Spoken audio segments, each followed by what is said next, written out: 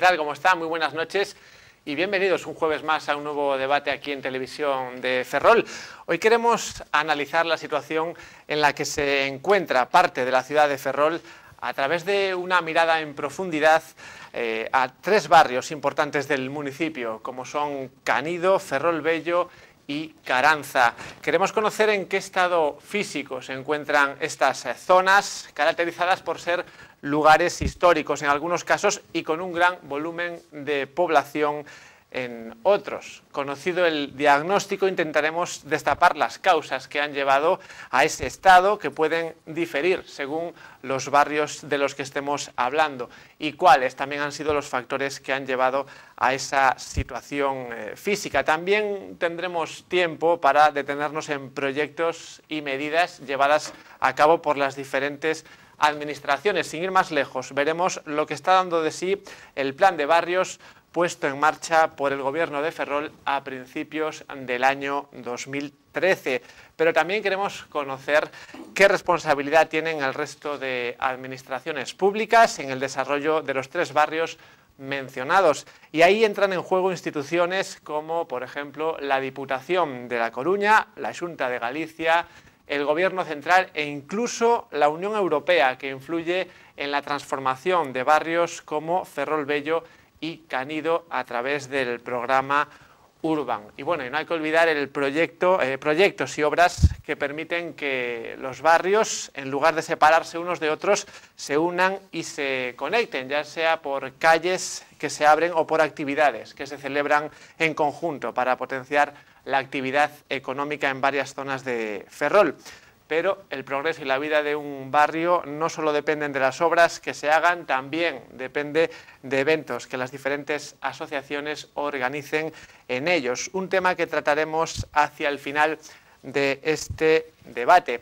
Y ya sin más dilación presentamos a nuestras invitadas, que hoy son eh, tres mujeres. Nos acompañan en la mesa la presidenta de la, la presidenta, no, la expresidenta, perdón, y ahora vocal de la Asociación de Vecinos de Caranza, Pilar Rodríguez Mapi. ¿Qué tal? Buenas noches. Hola, buenas noches. Bueno, también tenemos con nosotros, en este caso sí, la presidenta de la Asociación de Vecinos de Ferrol Bello, Maite Fernández. Buenas noches, Maite. Hola, ¿qué tal? buenas noches. Y nos acompaña también la presidenta de la Asociación de Vecinos de Canido, Elia Rico. Elia, bienvenida. Hola, buenas Bueno, y hablando de invitados, ustedes ya saben que también se pueden considerar eh, invitados. Eh, en la segunda parte del programa, sobre las 10 y cuarto, 10 y 20, después de una pequeña pausa, podrán llamar para hacer sus comentarios sobre los temas que trataremos hoy. Ese teléfono ya lo conocen, es el 981 36 99 13. Sin duda una parte importante del eh, programa porque sus aportaciones siempre enriquecen el, el debate. ¿no? Bueno, y comentábamos al principio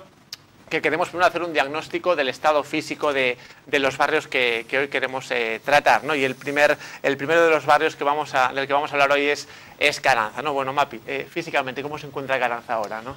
Pues la verdad es que levantada porque estamos en obras, además, desde distintos ámbitos. Nos tocan las obras municipales de la tercera fase del plan de barrios y están afectadas varias calles y aparcamientos y también la, situación de los tanques de tormentas para la depuradora, que también nos toca de lleno. Llevamos tres tanques en el barrio y llevamos con obras desde principios del año pasado. ¿no? Y además es que las obras de saneamiento y de los tanques de tormentas sí van muy lentas.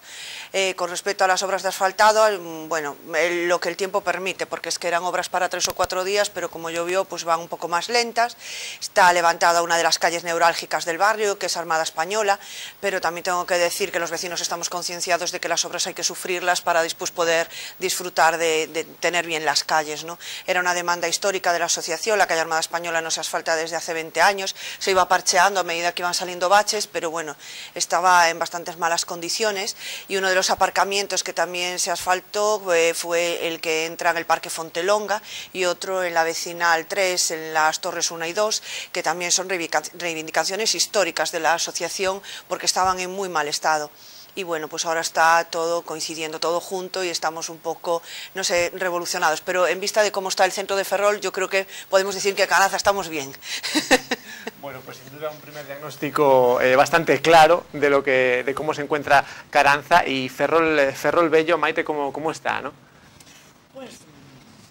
Un poquitito mejor que hace tal, en alguna calle sí se ve que algún vecino se ha animado a, a rehabilitar, pero seguimos con Carmen Cruzeira escortada y con la casa apuntalada y temblando que con estos temporales que empiezan hoy, sí. pues no pasa nada. Y del resto, pues más o menos igual. Bueno, la calle bueno, sí. es eh, principal, ¿no? Una de las calles eh, principales de, del barrio, ¿no? Sí, del interior del barrio, sí. Está cerrada por el, primero por los derrumbes que hubiera, después porque cuando ya se arreglaron los derrumbes y ahí sí que hubo alguna pequeña actuación también dentro de esa calle, igual que en la, de, en la paralela, que es la de Benito Viceto, pero mm, después fue la, caída de la otra casa, bueno, que se venía abajo y sigue apuntalada y claro, cerrada. Entonces... Bueno, y Elian, Canido, ¿cómo, ¿cómo, os encontráis ahora en, ese, en este sentido? ¿no? Si analizamos el esqueleto de Canido, la estructura... Pues eh, en Canido estamos co, co esqueleto e, e cos colgaxos dos, da, da pel bella. Canido ahora mismo está en obras, con obras do Plan Urban, que nos parece ben que se, teñen, que se, que se fagan, ademais eh, hai que facelas xa, porque o plan urban remata eh, no 2015, entonces xa non quedaba máis remedio que abordalas eh, o sea, ou agora ou, ou nunca. entonces temos todo a Rúa Alegre desde, desde a Plaza de Canido hasta o Cruceiro toda, toda levantada, e, bueno, pois, eh, agora mismo chove, empezou a chover, e, e hai problemas de, de acceso aos, aos locais.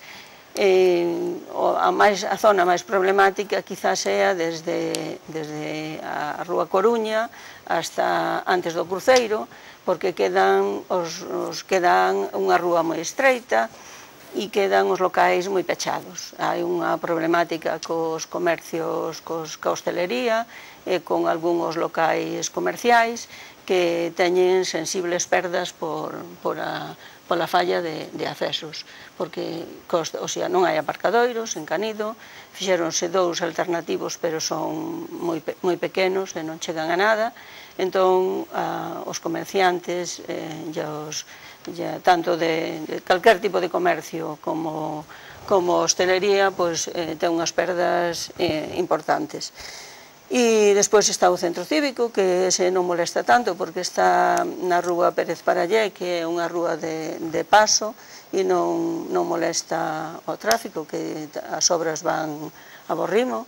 Pero, bueno, despois en Canido temos un, moito, moito problema con casas vellas que están caendo, que supoño que será de, que serán de alguén ou do Concello pero ese alguén ou do Concello terá que responsabilizarse do estado desas casas que agora no mal tempo eh, van a empezar a dar problemas. Nosotros eh, normalmente cando ven o vento e a chuvia empezanos a chamar os veciños por tellas que se moven, por chimineas que se moven e, e bueno, e despois pois que, que bueno, que ademais están convertidas en, en esperpentos e, e, e son refuxo e ás veces de xente que, que, que incluso pode poñer a súa vida en risco e a dos demais porque lóxicamente son casas que non están adaptadas nin para vivir, se te metes nelas no inverno, lóxicamente, terás que facer algún tipo de quentarte de alguna maneira, e son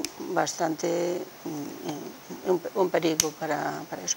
entonces nós, e despois, temos eh, lugar, eh, casas importantes, como a Casa do Patín, que é do Concello, que totalmente abandonada, que silvas por encima, o Corral de Chapón, que é unha zona eh, preciosa e emblemática e que está totalmente abandonado. Non sabemos se a casa que se derrubou últimamente fora unha cesión do Concello ou era unha casa que lle cederan ao Concello ou non, pero bueno, que nos parece, eh, está o chalé de Canido, que é privado, a verdad, pero nos parece que tiña que haber unha negociacións a, cos propietarios para non abandonar un edificio de, de Ucha, que ademais é pois, único eh, en esta zona, escadra en, en outras moitas zonas.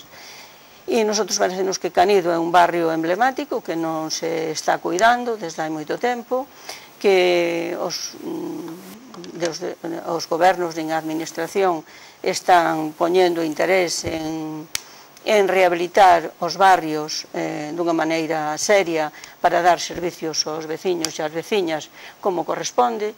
entonces pois, bueno, sí que estamos contentos que se fagan as obras do plan urban e, ademais, non quedaba outro remedio que facelas ou renunciar a elas.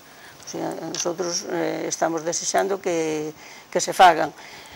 Ahora mismo, mm, eh, claro, o mal tempo tampouco non axuda a, a continuar esas obras, pero sí que había que paliar un pouquiño na medida do posible que os, eh, os accesos aos locais, que os escombros non estuveran nas, ne, eh, nos, nos xardíns nin nas rúas, e que aqueles locais eh, que están máis, máis pechados eh, de eh, habilitarlles algunhas entradas cando non estuveran as máquinas traballando para que tuveran un acceso de clientela moito un pouco máis fluida.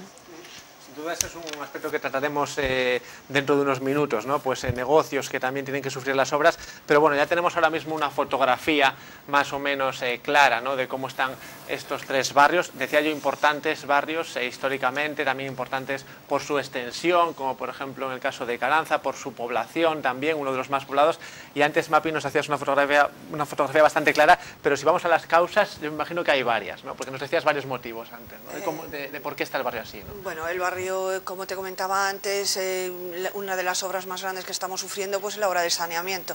Pero es que se lo está sufriendo todo Ferrol y todos los vertidos que hay a la ría, o sea, hay que eliminarlos como sea. La gente pide la depuradora y cuando se sacó el tema adelante, que dijeron que había que colocar tanques de tormentas, Caranza nunca se opuso a eso, porque está claro que en algún sitio hay que ponerlos. Eh, a los vecinos se les informó muy bien de en qué consistían, qué eran los tanques de tormentas, cómo eran los edificios y cuáles eran los plazos de obras. Si es verdad que afectó algún negocio, por ejemplo, algún gimnasio que eh, está ubicado en el paseo marítimo y hubo un tramo que por mm, eh, cuestiones técnicas de fenosa y tal, pues estuvo muy retrasado allí en la rotonda del conservatorio y estuvo meses cerrado, pero en general van avanzando. Para lo importante que son las obras, eh, yo creo que van avanzando bastante bien. sí es verdad que allí en el paseo marítimo no hay tantos negocios como puede haber en Canido, en Ferrolbello, en la zona centro, para que se sientan afectados por las obras. Entonces, entonces eh, en ese, en ese tema pues eh, nosotros no estamos tan afectados. Y con el tema de los asfaltados de las calles yo tengo que decir que la empresa que está trabajando ahora mismo en Caranza es muy cuidadosa. Mira, se cortó Armada Española un lunes en ningún momento, eh, es una calle donde además hay varios locales de hostelería y en ningún momento tuvieron problemas. O sea, mm, fueron asfaltando y picando la calle por tramos para que siempre se pudiese circular, les pudiese servir mercancías a los negocios. Hay una panadería que incluso todos los días, varias veces, iban a hacer el reparto y no hubo ninguna queja. También es verdad que la asociación eh, se molestó en informar muchísimo. El domingo anterior estuvimos poniendo carteles por todos los portales para que la gente supiera cuánto duraban las obras, en qué consistían por dónde se podían desviar, cuáles eran las alternativas de aparcamiento y ahora estamos esperando a que mejore el tiempo, que creo que tenemos que esperar un poco para el pintado, ¿no? porque las obras ya casi están acabando. ¿no? Y cuanto, perdón, en cuanto al tema de, rehabilitación de edificios, también tengo que decir que el problema no es tan grave pues, en Caranza como en Ferrolbello. Además, nosotros no dependemos del plan urban, no somos casco histórico, no tenemos tantas condiciones como tienen ellos para rehabilitar y además sí es verdad que tenemos ayudas de la Junta, eh, subvenciones que salen por decreto, a las que además eh, todos los vecinos se acogen todos los años cuando salen, la asociación las tramita gratuitamente y arreglan los elementos comunes en los edificios gracias a estas subvenciones que aportan aporta un 75% del presupuesto total. Bueno, sin duda importantes esas, esas ayudas para, para rehabilitar y antes nos hacía eh, Maite una fotografía realmente bastante gráfica, muy rápida de cómo estaba eh, Ferrol Bello, pero bueno, ¿cuáles son también un poco las causas en, en, este barrio histórico y, y, de origen de, de, Ferrol, ¿no? de que ahora esté como, como está? ¿no? Nos hablabas de esa mejora, pero bueno, ¿por qué está el barrio ahora mismo como, como está, ¿no, Maite?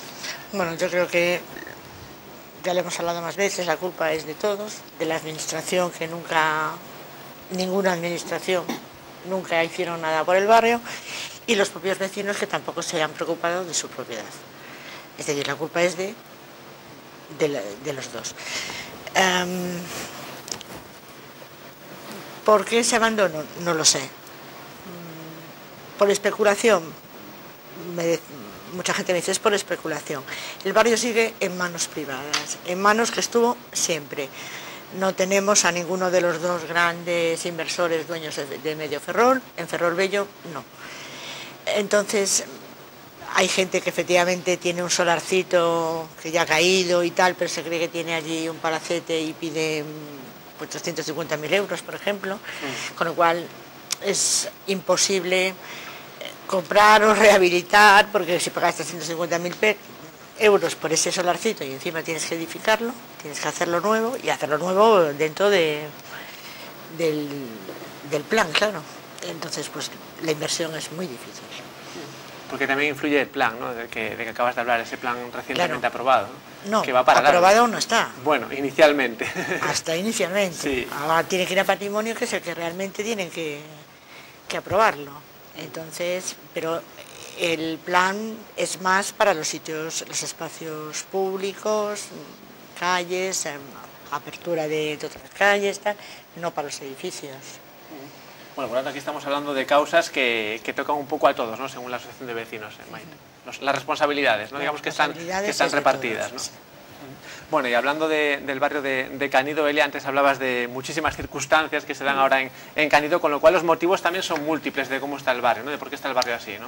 Sí, los motivos son múltiples. Eh, as viviendas de, en Canido houve unha, bueno, unha non sei como se chama, pero bueno, houve un cambio esencial na, eh, sobre todo na, na Rúa de Insua e na, e na Pérez Parallé, na, na, na estrada, no, o sea, na avenida Pérez Parallé, sí. aí convertíronse algunhas casas eh, e algúns solares, convertíronse en, nesa rúa, quedaron solares que deben de ser de, da empresa constructora, Valeiros tamén, que están a, a campo, e despois hai eh, o sea, a circunstancia de que Canido Ah, é un barrio moi antigo e que as casas eh, e os solares que están abandonados eh, supoño que algún a administración é máis culpable que os veciños e as veciñas eh, individualmente. Porque se hai un registro de solares se a administración ten obriga de, que, de xestionar eh, unha cidade se a administración que sexa, debe de exigir o dono dese solar ou desa casa pois que, que teña unha responsabilidade sobre ela. Que non se pode eh, ter un barrio um, eh, de casas mm, bellas a, abandonado, porque eso eh, leva consigo moitísimas cousas. Entonces hai zonas en, en Canido que son novas, na que hai edificios de, de pisos, e esos pois, bueno, pois entre eles pois na zona de Pérez Parallé que hai uns bloques de, de viviendas que se fixeron que ainda están sen, tamén sen entregar xa hai, xa hai moito tempo pero bueno, esa zona casi está deshabitada. Pero a zona máis habitada que é desde a Plaza de Canido hasta o Cruceiro, despois Alonso López e por eh, de Estrela hasta cerca do, do parque e polo outro lado Máximo Ramos, Atocha e, e San Diego pois, bueno, hai de todo, pero na zona máis alta de Canido hai bastantes casas unifamiliares que están en estado pois, bastante calamitoso. Eu penso que a, a, a maior responsabilidad mm, teñen a administración que, que xestiona.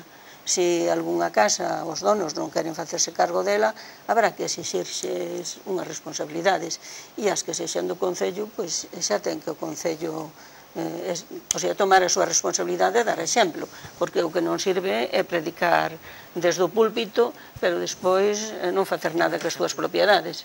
entonces nosotros parece no casa, a Casa do Patín é unha casa que sería estupenda, xa, xa falamos moitas veces dela, nela na Asociación de Veciños, e puñémolo en contacto, ou sea, puñémonos en contacto co Concello moitas veces, para que miren por esta casa, porque sería unha biblioteca ou un centro eh, de, de reunión para xente nova estupendo e, e non se está facendo nada por ela. En Canido non hai ningún polideportivo para a xente nova, nin para xogar, senón un mini, unha mini pista ali detrás da, da, en Moño do Vento, que, pois, que non vale, non, non, non vale ni, bueno, para botar unha pachanga nenos pequenos, que son grandes e a chocan. Entonces, eh, que, si queremos que a xente nova eh, teña iniciativas, eh, faga exercicio, eh, sacala de, de os vídeo os xogos e de toda esta que agora lles criticamos tanto, tamén teremos que dar unhas oportunidades para que fagan outras cousas. E entre todos, pois, eu penso que, que non é, ás veces, eu penso que non costa tanto diñeiro poñer eh, andar e infraestructuras. Ademais, eh, todo o mundo entende a incomodidade das obras, todo o mundo entende cando hai dificultades para facer algunhas cousas. O sea, a xente eh, non, non vive noutro terreno cos que nos gobernan. A xente vive na rúa e sabe perfectamente, pero eh, cubrir unha plaza con unhas columnas e eh, un tallado, eh, poñerlle unhas canastas para que os nenos xoguen, non é tan costoso o, e, o que non se pode ter é eh, a un barrio eh, como Canido sin ningún tipo de instalación deportiva.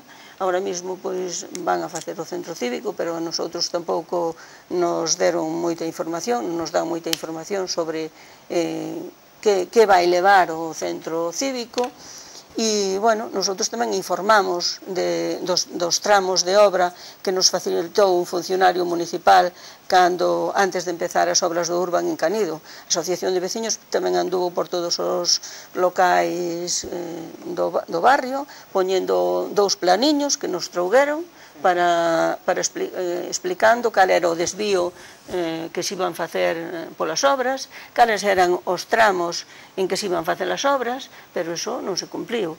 O sea, entonces, eh, claro, nos información tamén damos, cando, pero claro, cando a información aínda encima despois non se axusta a realidade, pois o rebote é moito maior. Vamos a profundizar en unos minutos en obras concretas, pero bueno, vamos a ir por pasos, porque ya tenemos un poco el diagnóstico de cómo está cada barrio, tenemos también los motivos, los posibles motivos de, que han llevado a ese estado, y ahora vamos a por las soluciones, por lo menos las soluciones que en principio han puesto encima de la mesa algunas administraciones, la más cercana, por ejemplo, el Consejo de Ferrol. Yo les comentaba al principio ese plan de barrios. Ya puesto en marcha en el año 2013, alrededor del mes de, febrero, si, no recuerdo mal. Y ya se está hablando además, bueno, se está viendo ¿no? que ya hay varias fases de ese plan de, de barrios. Al principio de, esta, de este debate hablábamos ya de la tercera fase, si no me equivoco, y vamos un poco a analizar pues, esas soluciones que la administración local, el, eh, el gobierno eh, del Partido Popular en Ferrol ha puesto sobre la mesa. Mapi, antes me decías, el plan de barrios en su tercera fase, si no me equivoco. ¿no? Sí, en Caranza estamos la tercera fase, las obras que se están haciendo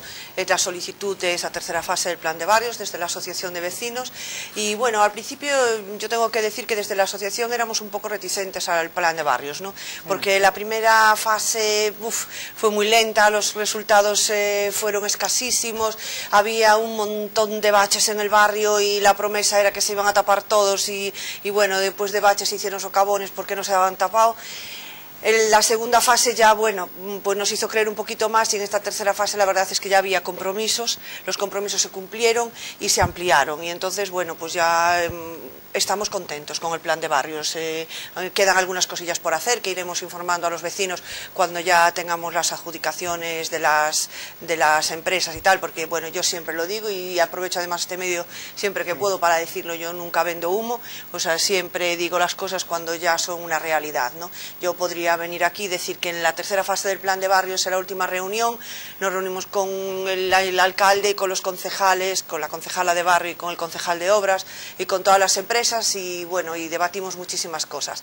Pero realmente encima de la mesa lo que hay son las obras que hay ahora mismo, que hay en la actualidad, y tres o cuatro cosillas más que están cerradas, bueno, cosillas no, que son importantes, mm. que es un asfaltado en Tejeras, en otro en Casas de Bazán, y bueno, alguna cosa importante más, pero que, que no quiero adelantar por si se queda eh, en agua de borrajas. ¿no? Entonces, pero bueno, vamos confiando un poquito más en el plan de barrio, sí.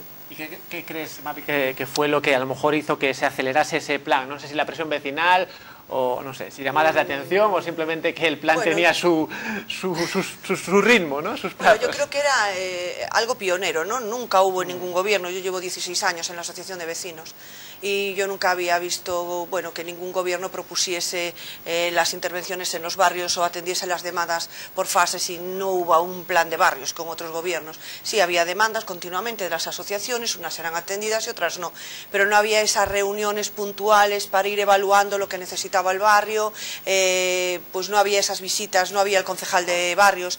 Yo siempre lo digo, a nosotros la concejala de barrios nos funciona, aparte de que vive en el barrio, bueno, pues es una persona que siempre que llamamos está ahí, eh, se ven las obras in situ, ¿sabes? Cuando vamos a las reuniones, después hacemos un recorrido, eh, es más, en la última reunión que hicimos, pues íbamos muy justos de tiempo, que cuando digo muy justos fue hora y media, pero el alcalde volvió a la semana siguiente porque nos quedaba la zona de Tejeras por visitar y casas de Bazán, y bueno, y se van concretando más las cosas. Entonces, mm, bueno, pues eso, yo creo que, que, hay que darle una oportunidad. Espero que me toque la cuarta fase antes de que acabe esta legislatura y, y, podamos acabar de tapar los baches, que eso sí que es, bueno, un tema que, que yo creo que a todo el mundo le saca un poquito eh, bueno, pues de sus casillas, ¿no? el estar circulando por las aceras y tropezando en las baldosas o los coches metiendo las ruedas en los agujeros estos enormes mm. que tenemos, eso sí que hay que acabarlo ya. Mm. Eso, una falta de mantenimiento diario sí que es verdad que la tienen todos los barrios, no solo el de Caranza, sino todo Ferrol. Y eso se fue alargando eh, durante los años y entonces lo que era un bache pequeñito pues se ha convertido en un bache enorme y cada vez cuesta más arreglarlo y cada vez es más difícil aplicar un presupuesto a una obra mayor, ¿no? una obra de más envergadura. Pero yo creo que un buen mantenimiento y, en lo que afecta a Caranza, que es un barrio relativamente eh, pues, eh, joven, que tiene pues eso, 45 50 años, lo que necesitamos es un mantenimiento. Yo lo he dicho muchas veces, no estamos en épocas bollantes, no podemos pedir grandes proyectos, hemos tenido la suerte en Caranza de ir aumentando todos los servicios, ¿sabes? Eh, Caranza nació con nada y ahora tenemos de todo. Y no solo de todo para los de Caranza, sino que muchas cosas que tienen los ferrolanos ahora están en Caranza, conservatorio, auditorio, eh, la, o sea, muchísimas cosas eh, que no hay en otros barrios, pues eh, es más, el otro día inaugurábamos el primer registro que hay descentralizado del Ayuntamiento de Ferrol, ¿no? que también era una demanda histórica, Caranza, con, bueno, en su momento 25.000 personas, ahora ya muchísimas menos, ¿no? pero que considerábamos que debíamos de tener nuestro registro, no teníamos que venir al centro de Ferrol para demandar algo, ¿no? y ahora inauguramos ese registro con la Oficina de Atención Ciudadana y yo creo que vamos avanzando y mucho además. Bueno, y si se habla de avanzar, eh, el plan de barrios, eh, ¿cómo, ¿cómo, ha sido eh, recibido en, en, Ferrol Bello, Maite? ¿Cómo, ¿Qué balance puedes hacer ¿no? desde ese año 2013 que se ponía en marcha? ¿Cómo, cómo ha sido ese seguimiento por parte vuestra? ¿no? Bueno, pues a ver, si se atendieron algunas de las reclamaciones. Nosotros la principal siempre fue el local, seguimos sin local. Es cierto que ahora sí que está a punto de adjudicarse a, a una empresa, pero nosotros seguimos igual. Es decir, si avanzamos en cosas, pero por ejemplo nosotros no tenemos baches en lo que es eh, en las zonas de las calles, porque lo que tenemos son adoquines y por ejemplo en San Francisco pues hay sitios donde está más deteriorado, hundido un poco. Es una callera que habría que, que hacer nueva totalmente. O Espartero, que también está en bastantes malas condiciones con respecto al, al adoquín. Entonces en ese sentido no, nosotros, nosotros no hemos visto ahí se arregló el parque, sí, pero el parque lo tenemos a medias, lo compartimos, pero después se va a hacer la intervención de los jardines, de Herrera, pero a ver, al plan aún le falta a nosotros, pero claro, no es lo mismo, no se puede comparar un barrio con otros que no tiene nada que ver. Bueno, y Elia, en, en Canido, ¿cómo, ¿cómo, ha sentado el plan de barrios? ¿Ha notado transformación en estos últimos dos años? Eu sinto, casi. sinto ser a nota, discorda. sinto, nosotros, dame impresión que eh, plan ferrol, plan de barrios, o sea, eh, queda moi bonito nun papel, facer unha programación, cando eu supoño que desde, desde o Concello eh, xa se sabe o que hai que facer en cada barrio, ou polo menos eh, cando te presentas a un goberno municipal eh, o, o concellal responsable xa saben que hai que facer en cada barrio.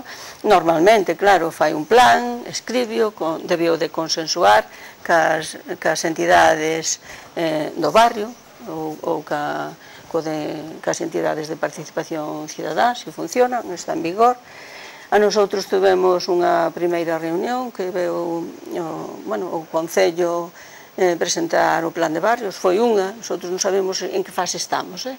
tivemos unha, unha reunión. As fases non sabemos.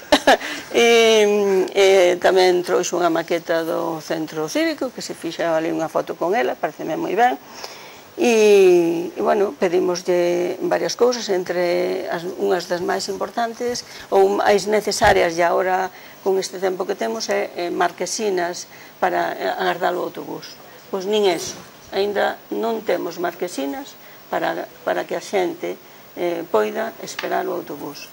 A xente, o sea, o autobús non leva xente, porque eh, non o pode levar, o sea, ca, co, co tempo que temos eh, que temos uns largos invernos, como ventean canido eh, e como chove, e que non hai donde resgardarse para agardar o autobús, pois a verdade o autobús non pode funcionar.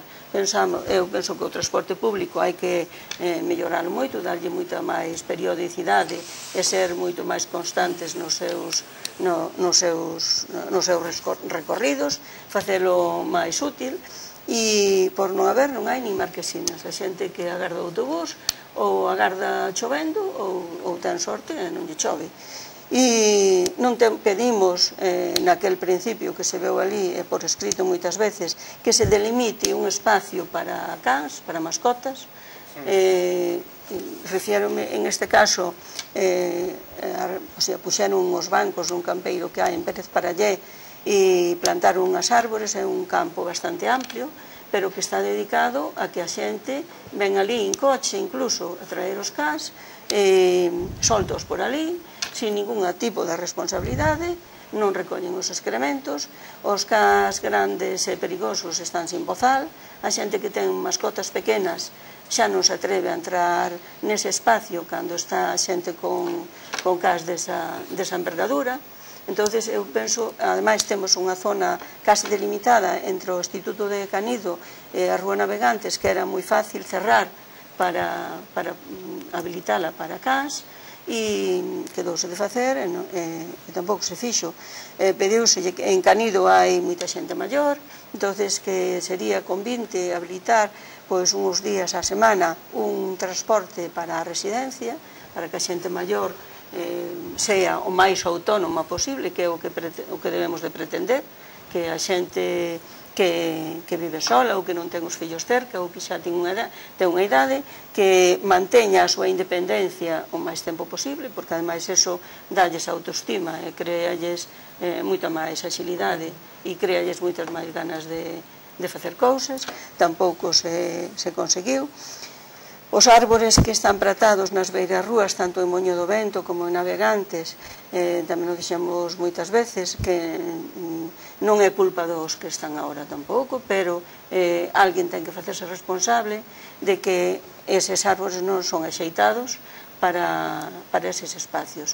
Eh, se plantan árbores de gran envergadura nas beiras rúas, levantan toda, toda, toda a beira rúa, eh, cubren os primeiro, as primeiras vivendas, co que non lles entra nin o sol nin a luz nas vivendas, entonces eh, pensamos que mm, hai que, hai que buscar unha maneira de sustituir eses árbores por, por outros máis axeitados para esas, para esas zonas. A xente que camiña polas beiras rúas é moi fácil tropezar nas, nas, nos, nos adoquins que están levantados, y que muchas nafras de, de, de Pilar. Bueno, sin duda son Entonces, actuaciones hay... y situaciones que dependen de varias administraciones, algunas de, claro, sí. de ellas, y si hablamos de administraciones, sí, tamén es otro capítulo así. Unha cosa, en Alonso López, que é unha obra do Urban que está uh -huh. rematada, mm, non deixaron sitio para os contenedores. O sea, hai cousas que, que, que me parece que é de sentido común, o sea, que mm, cando se fan as obras, eh, hai, están en na tafona, e, e como protestan uns e protestan outros, están cambiando dun lado para outro. O mismo pasa en Santiago. Protesta planificación, da carnicería, protesta de outro, entonces o contenedor vai dun lado sí, para outro. La... entonces eu penso que había... Eh, e non son cousas de diñeiro, porque deixan un espacio sí para es- un es contenedor planificación, una situación que nos va a llevar a hablar de la planificación en unos, en unos momentos, pero antes hablaba yo de administraciones porque, bueno, hemos hablado del plan de barrios que depende de la administración eh, local, pero si hablamos de la influencia de, de administraciones en los barrios, eh, MAPI, eh, ¿cuáles tienen que ver en este caso con Caranza? ¿no? ¿Cuáles están más implicadas? Porque también la Junta en parte tiene... Sí, nosotros dependemos muchísimo de la Junta, del Departamento del Instituto de Vivienda y Suelo. O sea, el- el- quitando ahora tres de las vecinales, eh, eh, ya todo está descalificado, ya no somos vivienda de promoción pública. eh, cuando la Junta, bueno, cuando el bloque eh, llevó la Junta decidió que había que descalificar Caranza y entonces eh, para que no pudiéramos eh, acceder a las subvenciones. Además lo tengo que decir porque es que para nosotros era vital esas subvenciones a las que podíamos llegar y poder rehabilitar. Bueno, decidieron descalificar todo Caranza como pública y se quedaron solamente tres vecinales, las 68 viviendas, las 398 y Tejeras, con la calificación de pública. ¿no? Entonces, es así que siguen dependiendo de la Junta directamente.